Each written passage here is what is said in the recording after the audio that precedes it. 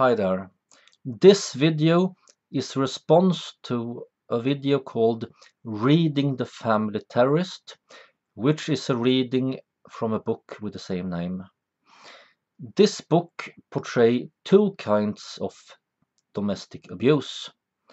We have overt abuse in the form of violence, as in physical violence and such, and we have covert abuse, which the author calls family terrorism. This family terrorism is about destroying people emotionally and socially, doing things like faking a suicide attempt in front of the children or filing false abuse charges to destroy someone's life. According to the book, the family terrorist is often unaware that he or she is doing something inappropriate. This can be caused by a lack of empathy for other people, up to the point of not realizing that other people are real and have real emotions. But it can also be caused by narratives that oversimplify the world and divides it into heroes and villains. In this kind of narrative, the act of terrorism is an act of freedom fighting rather than an act of terrorism. The ends justify the means, and the main character of the story is victorious and heroic. Quite unsurprising for a part of a, of a book chosen by the YouTube blogger Girl Writes What. The narratives that are talked about in this part is feminist narratives about male violence against women. My point of view about this whole thing is that yes, oversimplified narratives like this is a huge problem. And this problem is quite regardless of whether you get them from feminism or from men's rights activism or from Christianity or from some other source. the main problem is how you handle your stories how you handle your narratives. If you forget the simple fact that there is two sides to every story, you're going to have a huge problem. Totalitarianism is extremely dangerous and destructive. I have seen this kind of family terrorism several times I've been very lucky personally. I've been able to see it from a safe distance. It has not really been done to me in a relationship that I have been in, but I've seen it done to other people and with all kinds of excuses. Christianity, Islam, and feminism. I think those are the ones I have encountered personally. I've also heard about cases where men's rights activism are the narrative used to justify this kind of family terrorism. The book mentions that family terrorists don't always get those destructive ideas themselves. Sometimes they are driven by other people and in my experience, this is very true. First of all, we don't have any secluded family units separate from the rest of the world. And family can also be used in an extended sense. It doesn't have to be about a romantic relationship. I'm going to give you two examples shortly. One of them is about a family, but the family terrorist is actually not anyone in the nuclear family, it is the grandmother. and the other kind is a feminist community which might be called a sisterhood, where one of the most radical feminists there started harassing the founder of the community, a female feminist activist. In cases like these, it is very much about alarmism. If you don't fight the good fight with any means necessary, all the children will be raped, everybody will burn in hell, and civilization will collapse due to betraying the male gender. And it will be your fault, so don't bother to think about whether the alarmist is feminist, Christian, MRA, or something else. Just take their word for it and panic now. In my first case, the family terrorism has not yet started. It's just about to begin. This was in one of Sweden's largest, most conservative, and most respected newspapers. One of their advice columns handled by a professional psychologist. The letter was from a concerned grandmother. She did not like the fact that her grandchildren was masturbating and she didn't make any distinction between the fact that she had found out that the children are masturbating and been embarrassed by that and the fact that they were masturbating at all.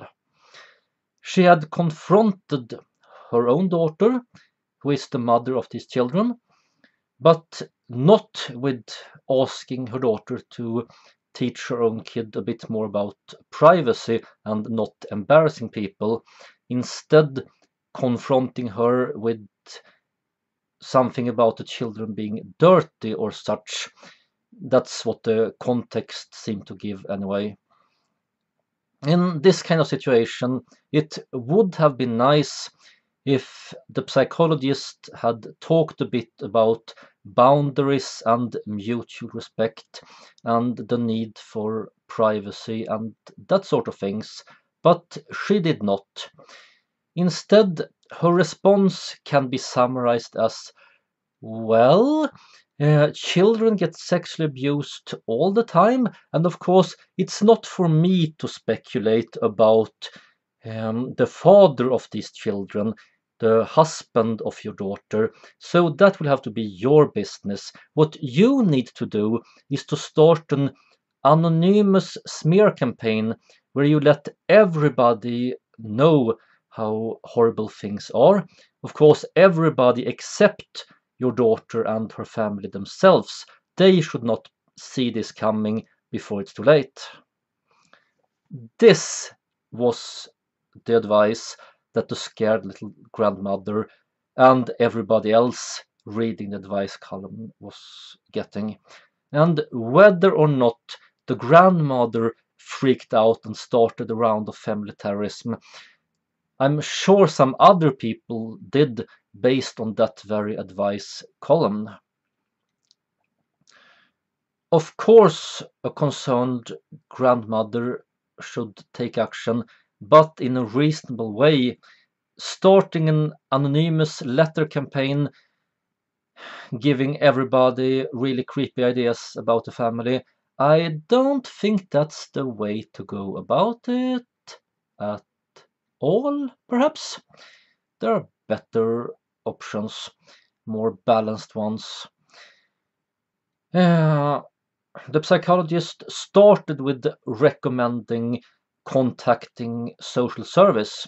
And I don't know whether that would be a good idea or not, but maybe talk with them and stop there, not talk with everybody at least, and stand for your concerns, not just make vague accusations anonymously. So that was one case of a family about to fall apart for no good reason. Um, the other example, like I said, was another kind of family, more of a sisterhood. It was quite stormy on that forum sometimes. One of the big debates was regarding sexual minorities.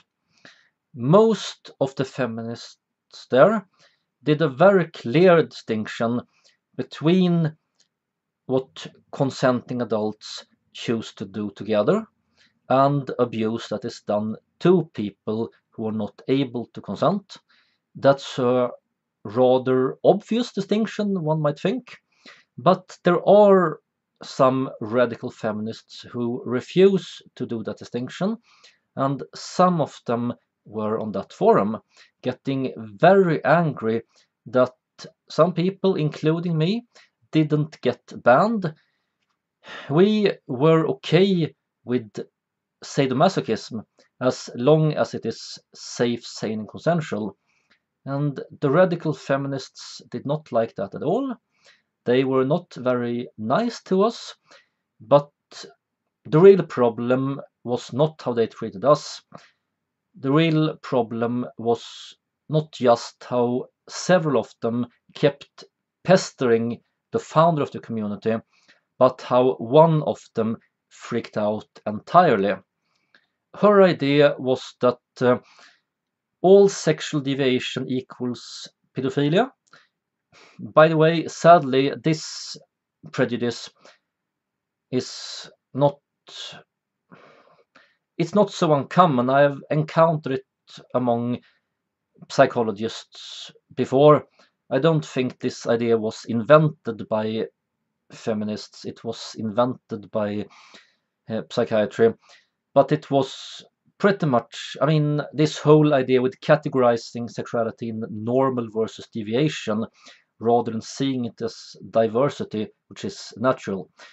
So, anyway, uh, this radical feminist got the insane idea that um, by accepting people who are in favor of consenting adults doing things together, this admin was actually advocating pedophilia, which must mean that she's a pedophile herself. So this Radfem started running all around the internet, accusing this feminist community and its founder, founder of being some kind of pedophile ring. Completely insane. And I'm sure she believed in what she was doing with this twisted logic. She believed herself to be a freedom fighter with ends justifying the means and no smoke without fire, no matter how much the smoke is inside my own brain, that kind of stuff. Yeah. Well, at least I have to say one thing in her favor, and that is that child sex abuse do exist it is a real problem, a really terrible thing. As for the more grandiose claims of radical feminism and men's rights activism, I remain quite unconvinced. Of course, there are social structures and prejudices that hurt people of different genders. In many cases, it hurts women. In some cases, it hurts men specifically. In many cases, it hurts both genders as well as trans people, and so on. But this idea that society is all about destroying one gender or the other, that seems rather ludicrous to me personally. And I also find the idea of hell as a literal place rather than a metaphor. I find that to be ludicrous and obscene and inhumane. And it's also completely illogical. I mean, let's disregard the whole problem with life after death as such let's assume that there is an afterlife created by a divine being that is omnipotent and most importantly good. Would a good being actually design the universe to have a lot of people tortured forever? Of course not. That's not a good being. Not by any reasonable definition of the word good. The idea of hell has been spread for very destructive and very practical reasons.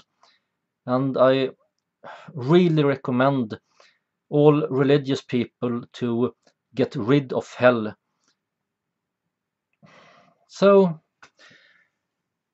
anyway, regardless of whether we're talking about feminism or religion or MRA or any other thing, the basic thing here is that we need to minimize our alarmism. We need to have a basic decency in how we view each other and get rid of these hateful ideas that urge us to believe that acts of terror are freedom fighting. We need to be kind to each other and see each other as the human beings that we truly are. That's all I have to say for now. Live long and prosper.